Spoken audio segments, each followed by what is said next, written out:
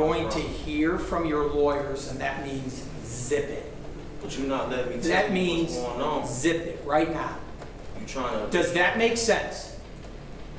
No, it doesn't. Franklin Williams. First, we delve into the jaw dropping case of Franklin Williams, a man whose courtroom sentencing took a dramatic turn. In the small town of Cleveland, Ohio, a series of shocking crimes unfolded, leaving the community in disbelief. At the center of it all was Franklin Williams, a man whose actions would forever change the lives of those involved. It all began with a string of armed robberies that terrorized the town. Franklin, known for his cunning and audacity, targeted various establishments, leaving no stone unturned. From convenience stores to banks, he struck fear into the hearts of innocent bystanders. But Franklin's criminal activities didn't stop there. As the investigation deepened, it was revealed that he was also involved in a vast drug trafficking network. His connections reached far and wide, making him a formidable force in the criminal underworld. The charges against Franklin were numerous and severe. He faced counts of armed robbery, drug trafficking, and conspiracy to commit heinous crimes. The evidence against him was overwhelming, leaving little room for doubt. As the trial began, the courtroom was filled with anticipation. The prosecution presented a compelling case, meticulously laying out the evidence against Franklin. Witnesses took the stand, recounting their terrifying encounters with the defendant. The jury listened intently, fully aware of the gravity of the charges. Throughout the trial, Franklin maintained a stoic demeanor, seemingly unfazed by the mounting evidence against him. His defense team, however, fought tooth and nail to cast doubt on the prosecution's case. They argued that Franklin was merely a pawn in a larger criminal enterprise, manipulated by more powerful individuals. But the prosecution was relentless, presenting airtight evidence that linked Franklin directly to the crimes. Surveillance footage, eyewitness testimonies, and intercepted communications painted a damning picture of his involvement. The drama and commotion in the courtroom were palpable. Emotions ran high as the victims bravely shared their harrowing experiences, their voices trembling with fear and anger. The families of the victims, desperate for justice, watched with bated breath, hoping for closure. As the trial reached its climax, the judge delivered a scathing indictment of Franklin's actions. The severity of his crimes could not be ignored, and the judge made it clear that he would face the full weight of the law. Finally, the jury reached a verdict. Franklin Williams was found guilty on all charges. The courtroom erupted in a mix of relief and disbelief. The victims and their families found solace in the fact that justice had been served, but the story doesn't end there. The courtroom drama took an unexpected turn when the judge, in an unprecedented move, ordered Franklin's mouth to be taped shut during the sentencing. I'm going to hear from your lawyers, and that means zip it. But you're not letting me tell That you means what's going on. zip it right now. You trying to? Does that make sense? No, it doesn't.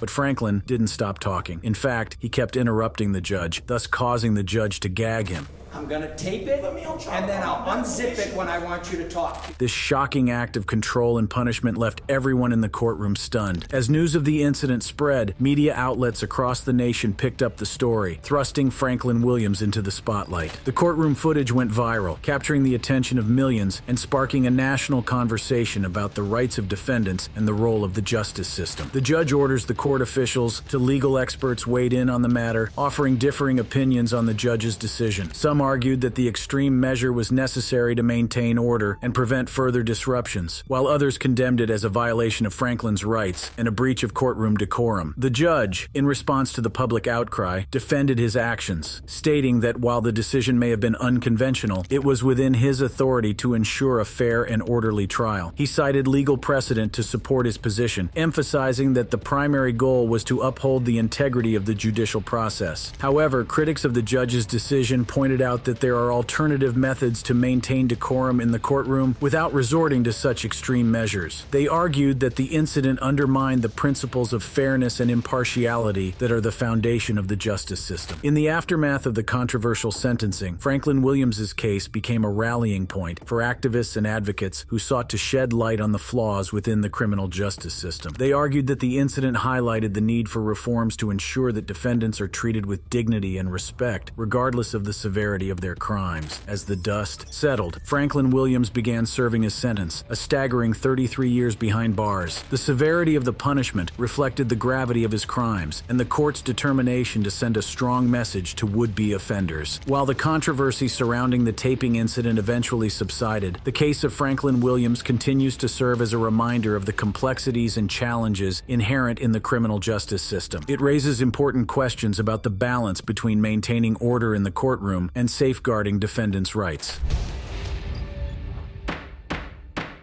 CL Angilau. In a shocking and dramatic incident that unfolded inside a Utah federal courthouse, Ciel Angilau, a member of the Tongan Crip gang, met a tragic end when he was shot by a U.S. Marshal. Now, let's delve into the heart-stopping incident that took place inside a Utah federal courthouse, where Ciel Angilau, a member of the notorious Tongan Crip gang, met a tragic end. Ciel Angilau, a 25-year-old member of the notorious Tongan Crip gang, had a reputation for violence that preceded him. Born and raised in a world where loyalty to the gang was paramount, Angilau found himself entangled in a web of criminal activities from an early age. In 2010, Angilau was named as one of 17 individuals in a gang-related indictment that accused Tongan Crip members of assault, conspiracy, robbery, and weapons offenses. The charges painted a grim picture of a criminal enterprise that thrived on violence and intimidation. The indictment alleged that Angilau and his fellow gang members had engaged in a series of assaults, targeting rival gangs and innocent victims alike. Their criminal activities extended to conspiracy, with the gang members allegedly plotting and executing robberies to further their illicit gains. The weapons offenses listed in the indictment highlighted the dangerous nature of the Tongan Crip gang. Armed with firearms, the gang members posed a significant threat to the safety and well-being of the communities they operated in. As the trial unfolded, Angilau found himself as the last defendant standing, the final piece in the puzzle of justice seeking to hold the Tongan Crip gang accountable for their crimes. Previous defendants had already been sentenced to lengthy prison terms, ranging from 10 to 30 years. The courtroom drama surrounding Angilau's trial was heightened by the decision to present him as an unshackled defendant. In an effort to ensure a fair trial, Angilau had assured the judge that he would behave, requesting to appear in civilian clothes rather than handcuffs. This decision aimed to present him as an individual entitled to the presumption of innocence despite his alleged involvement in heinous crimes. The trial itself was a high-stakes affair, with the jury tasked with determining Angilau's guilt or innocence. The prosecution presented a compelling case, supported by evidence and witness testimonies that painted a vivid picture of the gang's criminal activities. It was a seemingly ordinary day in the courtroom as the gang-related racketeering trial of Ciel Angilau was underway. Angilau, a 25-year-old with a reputation for violence, sat calmly beside his attorney, his demeanor giving no indication of the chaos that was about to ensue. As the witness testimony continued, tension filled the air. Suddenly, Angilau rose from his seat, his eyes fixed on the witness stand. In a swift and calculated move, he reached over and snatched his lawyer's pen, gripping it tightly in his hand. The courtroom erupted in gasps and murmurs as those present sensed that something was about to go terribly wrong. Amidst the commotion, a voice cried out, Whoa, whoa, whoa! But it was too late. Angilau sprinted towards the witness stand, his right arm cocked overhead, the pen poised to strike. Panic ensued as everyone realized the imminent danger that loomed before them. The intended victim, a shackled witness, reacted with lightning speed, jumping back just in the nick of time. Angilau's attempt to strike was thwarted, but the chaos had only just begun. In a desperate bid to evade capture, Angilau lost his balance and fell feet first over the front of the witness stand, his body hurtling towards the ground. In the midst of this chaotic scene, an unidentified U.S. Marshal, positioned strategically in the courtroom, made a split-second decision that would change the course of events. With Angilau's life hanging in the balance, the Marshal drew their weapon and fired four shots at close range. The sound of gunshots reverberated through the courtroom, sending shockwaves through the hearts of those present. A woman's horrified cry pierced the air while law enforcement officials in suits rushed towards the witness stand, their instincts kicking in to restore order. Amidst the chaos, Angilau's defense attorney sought refuge under a nearby desk, seeking safety from the unfolding mayhem. Prosecutors, stunned by the sudden turn of events, stood frozen in disbelief, their minds struggling to comprehend the gravity of the situation. As the smoke cleared and the echoes of the gunshots subsided, a bailiff sprang into action, swiftly moving to block the entrance to the front of the courtroom. With his right hand firmly on his holstered weapon, he pointed at individuals in the gallery, instructing them to remain still, ensuring the safety of all those present. The tension in the room was palpable as an officer standing over Angilau yelled at him to drop the pen, urging him to comply with their commands. As U.S. District Judge Tena Campbell was escorted out of the courtroom, someone in the vicinity made a frantic call to 911, seeking immediate assistance. The urgency in their voice reflected the severity of the situation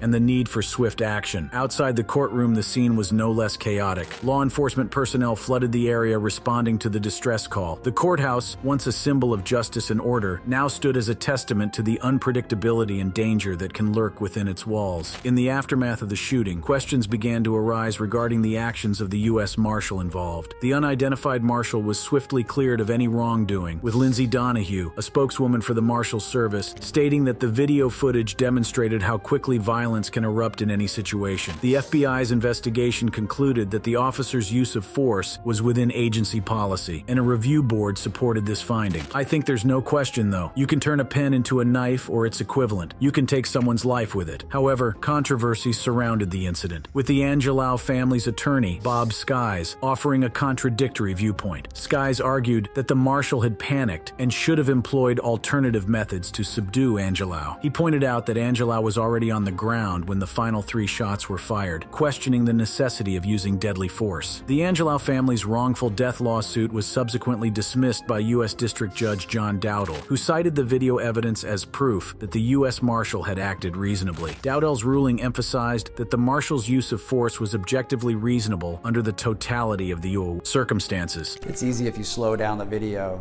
to maybe argue or suggest that there was enough time to do something different. When you watch it live, it's very hard to see that anything different could have occurred. The controversy surrounding the incident has left many divided, with some questioning the limits of police use of force and the need for alternative methods of subduing a suspect. The Angilau family, still grappling with the loss of their loved one, has yet to decide whether they will appeal the ruling.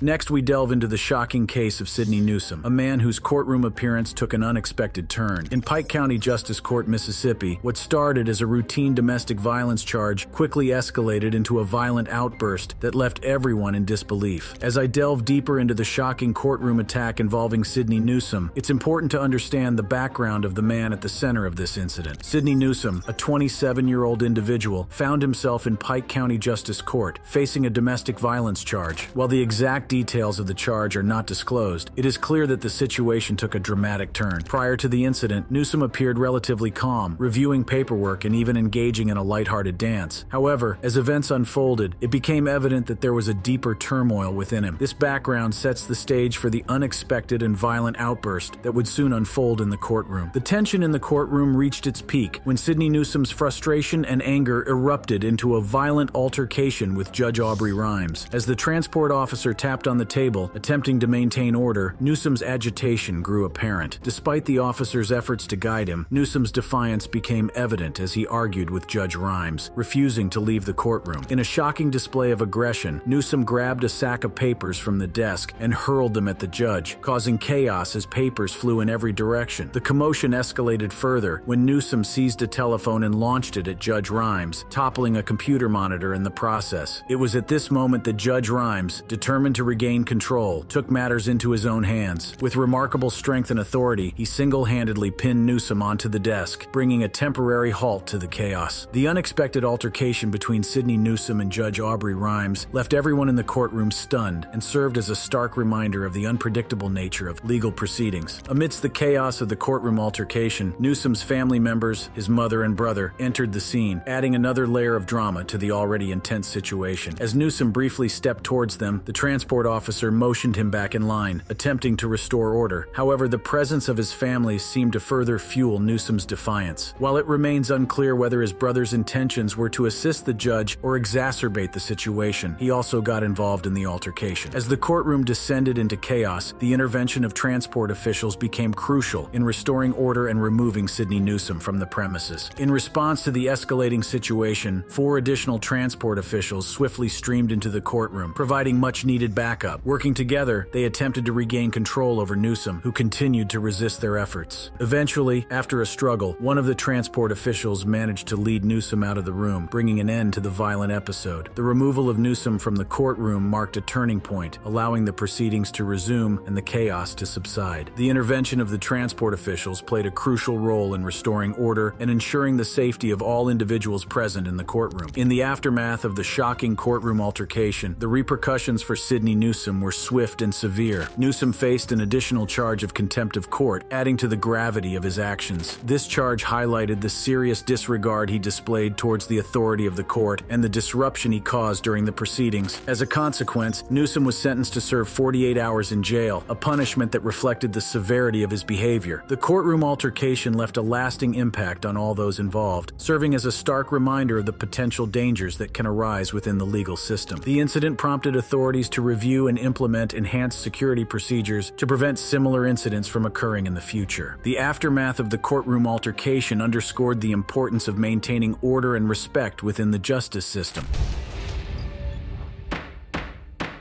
Next, we delve into the chilling case of Tristan Lamoureux, a man who made headlines for the unthinkable act of murdering his wife. In the quiet town of Cedar City, Utah, a seemingly ordinary couple, Tristan Lamoureux and his wife Misty, lived a life that would soon be shattered by tragedy. The events that unfolded leading up to Tristan Lamoureux's guilty plea for the murder of his wife were nothing short of shocking. It all began on a fateful day when an argument between Tristan and Misty escalated to a level no one could have anticipated. The tension in their apartment reached a boiling point, and in a fit of rage, Tristan committed an act that would forever change their lives. According to news reports, Misty was shot five times in the head, a horrifying and brutal act of violence. The details of the crime sent shockwaves through the community, leaving friends, family, and neighbors in disbelief. When the police arrived at the scene, they discovered Misty's lifeless body in the bathroom, a chilling sight that would haunt them forever. Meanwhile, Tristan attempted to flee the scene, but his escape was short lived. Law enforcement swiftly apprehended him, ensuring that he would face justice for his heinous actions. The authorities wasted no time in bringing him to trial, where the full extent of his crime would be revealed. The courtroom, located in the 5th District Court in Cedar City, became the stage for the dramatic proceedings. Tristan Lamoureux, now surrounded by four sheriff's deputies, sat in the defendant's chair, a constant reminder of the gravity of his actions. The atmosphere was tense as the judge, G. Michael Westfall, presided over the case, ensuring that justice would be served. As the trial progressed, Misty's brother, Jason Wilson, was called upon to deliver an impact statement.